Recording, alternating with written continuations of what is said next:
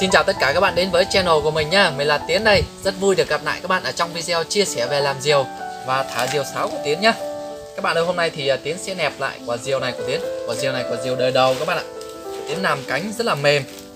Hai cánh thì cụp lại được với nhau luôn. Đó. Và vai thì nó hơi yếu. Bay gió nhỏ thì rất là dễ lên các bạn. Nhưng mà gió to thì à, diều này không có chịu được. Hôm nay thì à, Tiến sẽ nẹp lại vai này Và ờ, bốn bánh nái ở dưới này. Tiến ờ, sẽ chia sẻ cho các bạn là cách nẹp vai diều và uốn bánh nái à, vót và uốn bánh nái ở dưới các bạn nhé làm xong thì Tiến lại thả lại cho các bạn coi coi quả diều này nó bay như thế nào.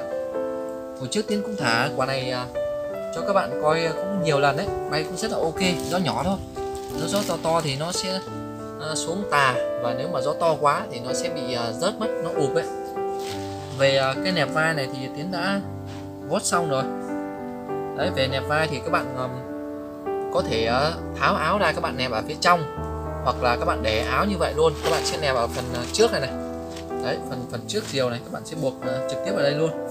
Ở đây tiến sẽ để áo như vậy tiến buộc luôn các bạn nhé về cái cây lan nẹp này ấy, thì các bạn sẽ chia cái cái cái cái cánh diều này làm 3 phần. Một phần này hai phần ba phần. Thì các bạn sẽ nẹp ở một phần này trở lại giữa này. Ở bên đây cũng vậy nhé đấy về là về cái độ dài nẹp vai còn cái cây nẹp này thì tùy theo các bạn. Ví dụ như là diều của các bạn mà mà, mà, mà yếu nhiều thì các bạn sẽ làm cây nẹp to một tí xíu. Còn à, nếu mà, mà diều mà yếu ít ấy, thì các bạn sẽ nẹp cây nẹp vừa vừa thôi. Đừng có nẹp cứng có nẹp cứng thì nó lại bị à, cứng vai. Ở đây thì tiến sẽ làm à, hai cái cây nẹp này là bằng cái cây lan này luôn. Đấy cây lan diều của tiến như thế nào thì tiến sẽ nẹp cái cây nẹp uh, giống như vậy luôn. Phần ngọn này cũng có uh, hơi thun thun đi. Đó cho nó hơi mềm mềm một tí xíu nữa tiến sẽ nẹp vào đây các bạn nhé đấy nẹp cứng đây luôn. Buộc uh, dây vài nút uh, đây một nút đây nút đây đây một nút là nó cứng ngắc lại mà. Rồi về bánh lái, rồi cái nan nẹp này thì uh, tiến uh, rút ngắn lại tiến uh, khỏi giới thiệu cho các bạn cách vót nhé cái nan nẹp này vót dễ mà. Quan trọng là cái độ dài nẹp này các bạn cứ đo bằng 1 phần 3 của cái nan cánh này. Đấy các bạn nẹp là phần vai này là ok rồi về bánh nái tí là chia sẻ cho các bạn là cái kích thước, kích thước của bánh nái này trước các bạn nhé ở đây thì à, tiến đã vót xong một cái lan bánh nái rồi. Xíu nữa tiến sẽ vót một lan kia. Tiến chia sẻ cho các bạn à, cách vót và cách cuốn. Ở đây thì à, chia sẻ cho các bạn kích thước trước nhé về diều của các bạn nếu mà các bạn không không đèo sáo ấy thì các bạn sẽ làm kích thước giống như tiến này. Thì đảm bảo với các bạn là diều không bao giờ bị nặng đuôi. Thì độ dài của bánh nái thì sẽ bằng một lửa của lửa cánh. Đó bạn sẽ làm cái cánh này à, đây là một lửa cánh này thì các bạn sẽ chia đôi cái lửa cánh này ra. Một lửa của lửa cánh. Đó chiều ngang ấy thì sẽ bằng à, một nửa của chiều dài để đảm bảo với các bạn là cái kích thước này diều không bao giờ bị à, nặng đuôi. Còn nếu mà diều của bạn đeo đèo sáo ấy thì các bạn sẽ đo vô cái bụng diều này cho tiến này. Đấy bánh lái sẽ bằng uh, gần bằng một bụng diều hoặc là bằng một bụng diều cũng được. Đèo sáo này các bạn sẽ làm bánh lái to hơn một xíu để để đèo sáo được uh, khỏe hơn các bạn nhé rồi bây giờ tiến sẽ đi uh, vót một cái lan còn lại. Tiến chia sẻ cho các bạn cách vót nhá. Rồi bây giờ tiến sẽ vót uh, cái lan uh, ờ, bánh nái còn lại rồi tiến chia sẻ cho các bạn à, cách vót và kích thước cũng như là cách cuốn lan nhá. Đây về cái uh, cái chuôi của cái bánh nái này khi mà các bạn là ghép lại với nhau như vậy á. Đó thì cái phần các bạn sẽ đo vô cái bụng dèo cho tiến này. Đấy từ các bạn sẽ đo bằng một lửa bụng dèo nhá. Đấy là từ cái phần này cho tới phần này ấy, là các bạn sẽ để to một xíu. Thì các bạn sẽ buộc như vậy này. Đó. Các bạn sẽ ghép hai cái bánh nái lại với nhau. Đó các bạn sẽ buộc hai cái phần này lại với nhau. Thì cái phần ở giữa này các bạn sẽ để to một xíu. Còn từ cái phần uh, tay tiến uh, từ cái phần uh, đây này trở lại cái phần ngọn này là các bạn sẽ vót bằng nhau hết.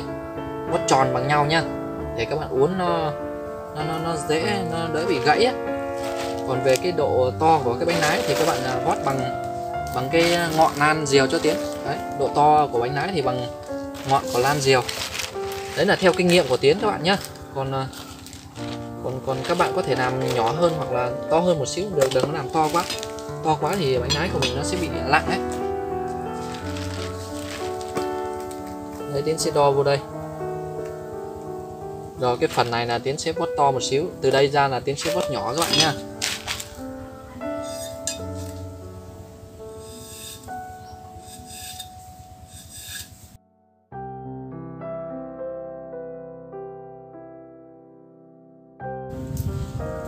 rồi tiến đã vót được hai cây lan à, bánh lái bằng nhau rồi.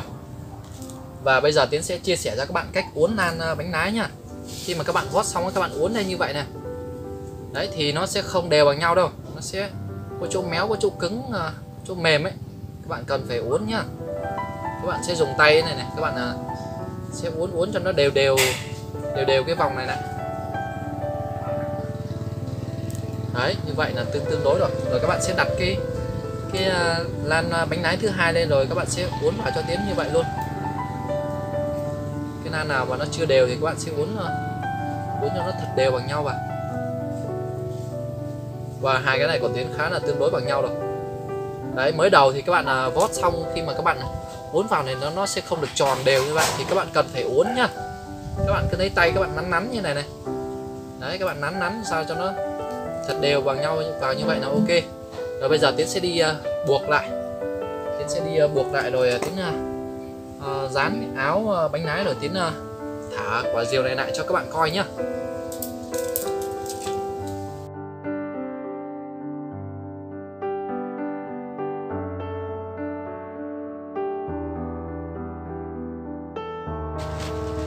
Rồi tiến đã buộc xong bánh lái rồi các bạn ơi. Đây là phía trước này. Đấy phía sau này. không biết là bay như thế nào đấy, các bạn cùng theo dõi quả diều à, à, uh, lẹp vai và độ thêm bánh lái của tiến coi là bay như thế nào các bạn nhé. Bây giờ tiến sẽ đi thả lên cho các bạn coi ngay nhá các bạn ơi lên nhá. Hy vọng là nó sẽ bay ok. Hôm nay thì ở dưới này gió bé nhưng mà trên cũng có gió các bạn ạ. Trên gió hiu hiu ấy.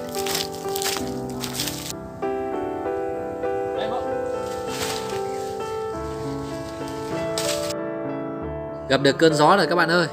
Lên rồi. lên rồi lên rồi. Thả dài dây được một tí các bạn ạ.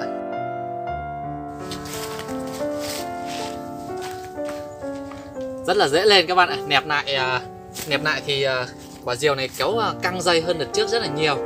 Và tiến làm bánh lái thêm ấy, nên là các bạn nhìn thấy diều ấy, nó nó bay, nó có vẻ nó cân đối hơn. Ví dụ như là diều nó hết gió ấy các bạn, thì nó xuống từ từ ấy. Nó đỡ bị tụt nhanh giống như là mình không có bánh lái các bạn nhá đấy về bánh lái diều thì các bạn à, nếu mà diều các bạn không đeo sáo ấy các bạn làm kích thước ờ, bánh lái giống như của tiến thì đảm bảo các bạn là diều không bao giờ bị à, nặng đuôi luôn.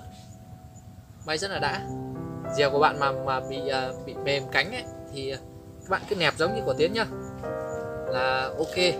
Hôm nào mà gió to thì thì thì à, tiến sẽ thả thử quả này coi là mình nẹp lại coi nó chịu được gió to không các bạn nhé bữa nay thì gió không có không có to gió bé lắm.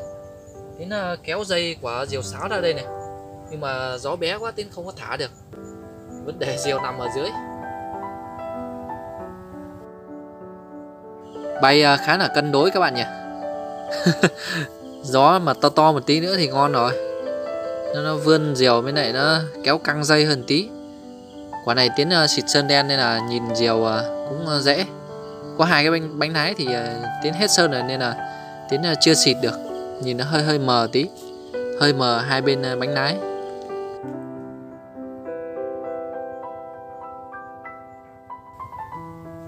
quả này thì dễ lên lắm. Gió nhỏ tiến thả nó cũng lên mà.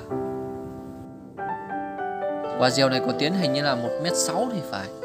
Lâu lắm rồi tiến không thả lại, nên là cũng quên kích thước của quả diều này luôn. Bây giờ tiến sẽ thả dài dây ra một tí các bạn nhé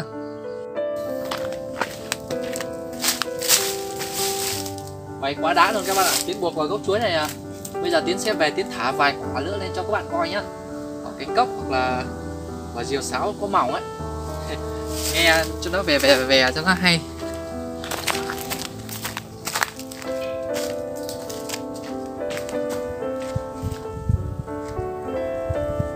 Các bạn ơi bây giờ tiến sẽ thả tiếp một quả diều à, sáo một mét tám lên các bạn nhé hai mỏng. Đấy diều 6 à, đeo 6 thì đang nằm ở đây chờ nhưng mà lại không có gió các bạn ạ. Giờ lại tung quả này lên cho các bạn coi. Quả này thì à, bay dễ lắm. Cần gió hiu hiu lên là lên rồi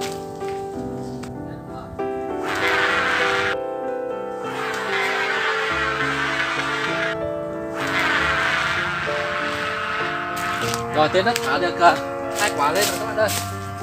Tiến gỡ lên rồi tiến quay cho các bạn coi nhá.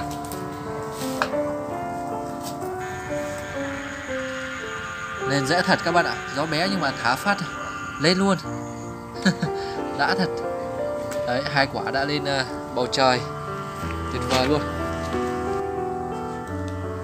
Có tiếng mỏng kêu uh, vui tai các bạn nhỉ? Thả diều mà mà không có tiếng kêu nghe nó à nó im lắm.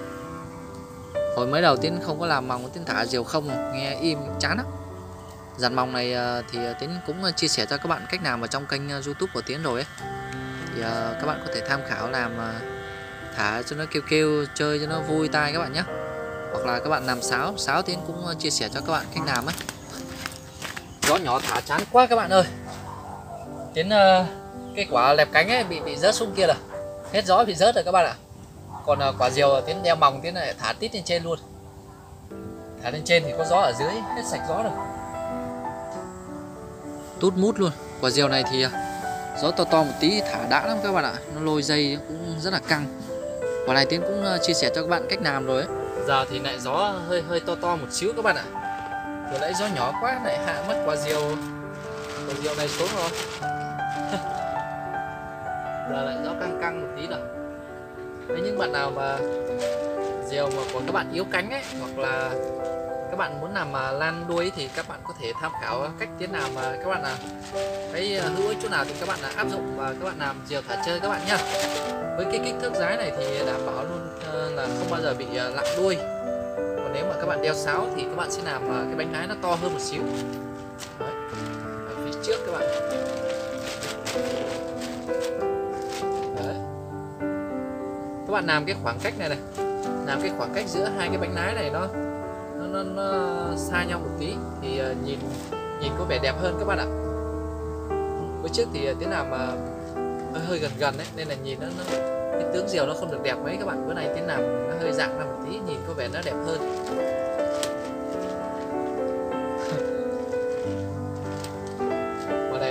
Cánh nó cũng vẫn mềm lắm mà tiến không dám nạp không không không dám nẹp cứng hơn nữa. Nếu mà nẹp cứng hơn nữa thì phần vai nó sẽ cứng quá và cái phần ngọn thì nó lại nó lại mềm quá ấy các bạn nên là nó không tương xứng ấy.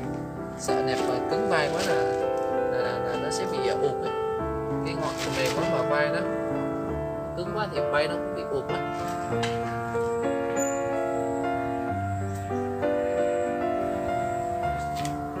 bây giờ tiến sẽ kéo diều dần xuống các bạn nhé cũng à, sắp tối rồi.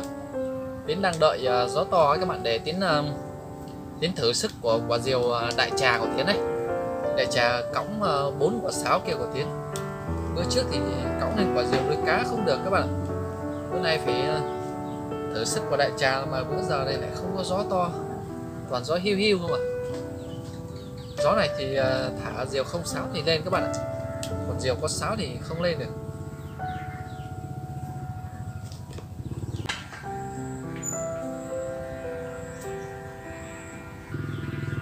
Thả mấy quả diều nhỏ nhỏ này à, khỏe các bạn ạ.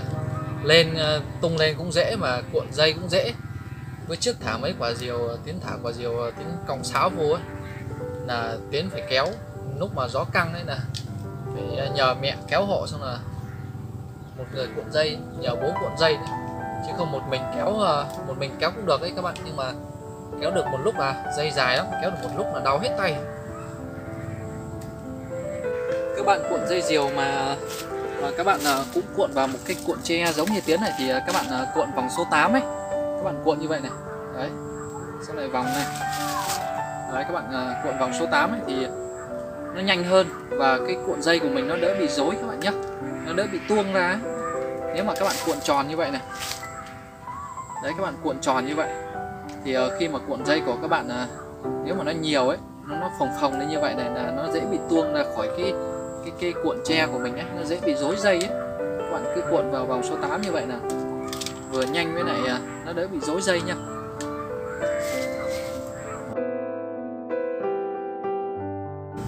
Kết thúc một ngày gió nhỏ các bạn ơi. Wow. đấy nếu mà các bạn à, cuộn hình số 8 này thì cuộn dây của mình nó sẽ có hình như vậy các bạn nhé nó nó đỡ bị tuông ra hai đầu này thì à, thoải mái các bạn thả nó không bao giờ bị, à, bị rối dây ấy. Rồi có lẽ là video về à, nẹp uh, vai diều và làm uh, lan đuôi của Tiến thì uh, Tiến uh, xin phép kết thúc video uh, thả diều này tại đây các bạn nhé. Cảm ơn tất cả các bạn uh, luôn theo dõi và ủng hộ kênh youtube của Tiến rất là nhiều. Nếu mà các bạn có câu hỏi là về diều hoặc là có góp ý nào cho Tiến ấy, thì để lại ở dưới phần bình luận của video này các bạn nhé. Tiến biết gì thì uh, Tiến lại chia sẻ cho các bạn cùng chơi diều cho vui. Bây giờ thì hẹn gặp lại các bạn ở video thả diều tiếp theo của Tiến nhé.